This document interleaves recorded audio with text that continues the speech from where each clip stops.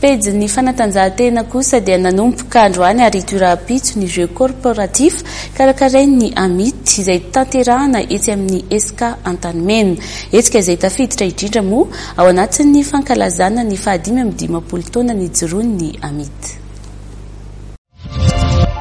Dimy ambin'ny folo eo ireo orinasa mandray anjara amin'ny fifaninanana ara-panatanjahantena Jeux Corporatifs Inter-Entreprises izay karakarain'ny Amit ary tanterahana etsy amin'ny Esca Antanimena manomboka androany. Tafiditra anatin'ireo hetsika samihafa entina hanamarihana ny fahadimy amby dimampolo taona nijoroan'ny Amit izany.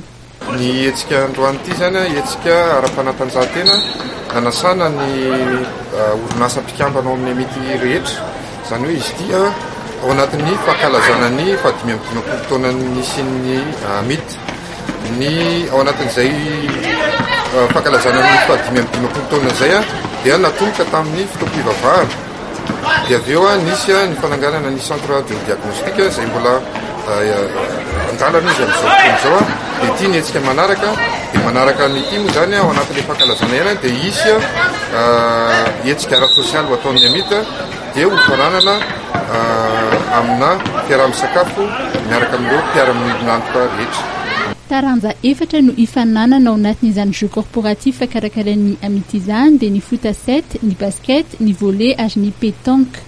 Androany no nitanterahana ny fifantsanana ary rahampitso kosa ny lalao manasa-dalana sy ny famaranana. Loka roa isaky ny taranja no zaraina amin'izany.